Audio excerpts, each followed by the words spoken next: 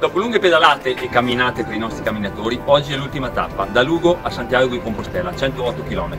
La tappa forse meno impegnativa sotto il profilo altimetrico. Partiamo tutti felici di arrivare a Santiago.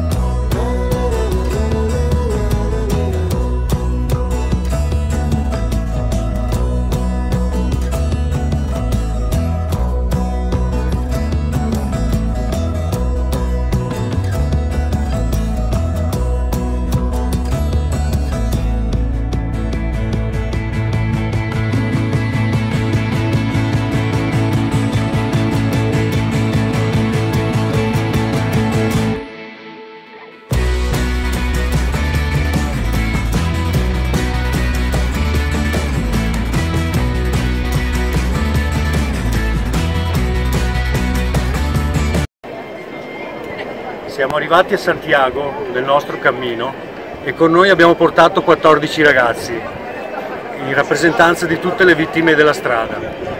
Lorenzo, Thomas, Nicola, Simone, Edoardo, Nicolò, Andrea, Rosario, Giovanni, Luca, Sara, Elisa, Michele, Tommaso.